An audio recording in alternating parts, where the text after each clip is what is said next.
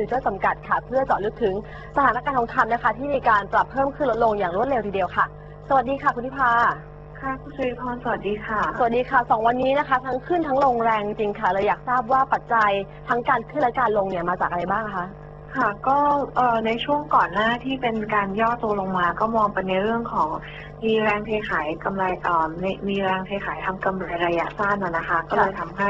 ได้เห็นราคาทองคำมีการเททิ้งออกมากับเกือบประมาณ 200 เหรียญสหรัฐต่อทรอยออนซ์แล้วก็ประกอบกับการที่ทางตลาดเซี่ยงไฮ้เอง แล้วก็ทางตลาดโคเม็กซ์เองอะนะคะ มีการปรับเพิ่ม margin ก็คือเอ่อเงินประกันขั้นต้นขึ้นมาด้วยอือฮึก็เลยทำให้ตัวราคาทองมีการปรับลดลงมาบางส่วน แล้วก็วันนี้เองก็สามารถ rebound กลับขึ้นมาได้นะคะค่ะ ตอนนี้ก็อยู่ที่ระดับประมาณ 1,793 เหรียญ US ดอลลาร์ต่อทรอยออนซ์แต่ว่าก็ยังไม่ได้แปลว่าจะกลับเป็นขาขึ้นแล้วนะคะ ก็อือฮึยังแนะนำให้นักลงทุนระมัดระวังอยู่ เพราะว่าเหมือนกับยังเป็น sideway อยู่ ก็ค่ะยังแนะนำให้ดูตามกรอบโดยที่แนวต้านอืม แนวต้านแรกของราคาทองคำก็คืออยู่ที่ 1,800 เหรียญ US ดอลลาร์ค่ะต่อทรอยออนซ์ก็คืออยากจะให้ดูว่าสามารถผ่านไปได้ไหม ถ้าผ่านไม่ได้ก็มีโอกาสว่าจะกลับต่อขึ้นเป็นขาขึ้นอะนะคะ แต่ถ้ายังไม่ได้ก็น่าจะยังได้เห็นการย่อตัวลงมา โดยที่จุดแนวรับแรกก็อยู่ที่ระดับประมาณ1,760 เหรียญแล้วก็ 1,740 เหรียญ US ดอลลาร์ต่อทรอยออนซ์แล้วก็คืนนี้ก็จะมีการประชุมของค่ะธนาคารกลางสหรัฐก็อาจจะต้องติดตามดูอีกนิดนึงว่าเอ่อสุดท้ายแล้วผลจะออกมา เป็นในเชิงไหน แล้วก็จะมีอ่าฮะผลยังไงกับราคาทองคำแล้วก็เอ่อรวมทั้งการประกาศตัวเลข GDP ของสหรัฐอเมริกาด้วย ก็จะมีค่ะข่าวสองตัวต้องติดตามสำหรับคืนนี้ค่ะนะคะสำหรับคืนนี้ทางคุณทิพาเองมองแนวโน้มว่าน่าจะไปเป็นในทิศทางใดบ้างอะคะ คือตอนนี้เองเออทางทางตลาดเองอะนะคะเอ่อกลุ่มของนักลงทุนเองแล้วก็หลาย ๆ สถาบันโบรกเกอร์เองก็ก็มองกันไว้ว่าตัว QE 3หรือว่ามาตรการผ่อนผ่อนคลายเชิงนโยบายเนี่ยค่ะ น่าจะไม่ได้มีเอ่อออกมานะคะ อือฮึ ก็เลยเป็นอีกตัวหนึ่งด้วยเหมือนกันที่ทำให้ในหลายๆวันที่ผ่านมาเราได้เห็นราคาทองมีการปรับย่อลงมานะคะเพราะว่า อืม เหมือนกับค่อนข้างรับข่าวไปก่อนหน้าอยู่แล้วนะคะ แต่ทั้งนี้ทั้งนั้นก็ อาจจะต้องรอดูกันอีกทีว่าจะมีอะไรที่พลิกโผล่ออกมาหรือเปล่า ถ้าเกิดว่าค่ะมีเอ่อสุดท้ายแล้วถ้ามี QE เพิ่มขึ้นมา หรือว่ามีอะไรที่ที่เรียกคล้ายๆกันออกมานะคะอือฮึก็น่าจะส่งผลทำให้ราคาทองมีการปรับตัวสูงขึ้น แต่ว่าอืมในการย่อตัวครั้งนี้ของราคาทองคำเราก็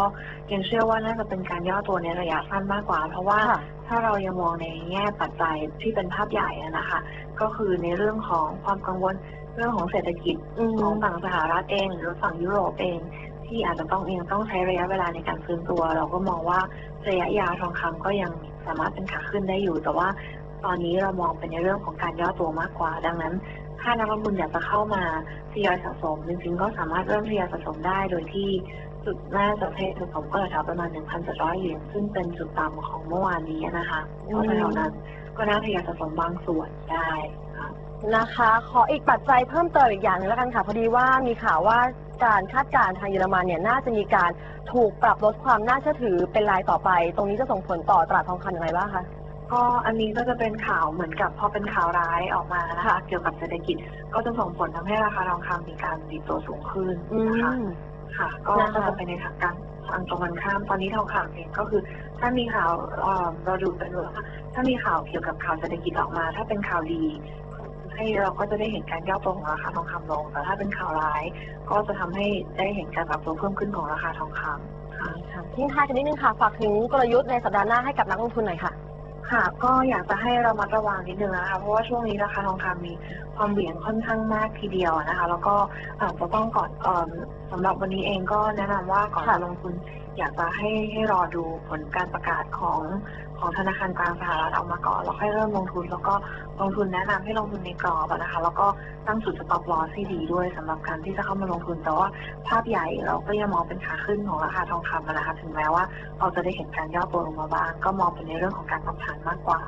นะคะก็คืนนี้นักลงทุนก็รอดูกันนะคะในส่วนของการแถลงการณ์จากเฟดนะคะ รวมถึงปัจจัยต่างๆ เราก็จะนำมาฝากกันแบบนี้ทุกวันจันทร์พุธแล้วก็ศุกร์ค่ะขอบคุณมากนะคะ คุณทิพาค่ะสวัสดีค่ะ สวัสดีค่ะ ทั้งหมดนี้แหละค่ะคือความเคลื่อนไหวที่รายการ Market Mover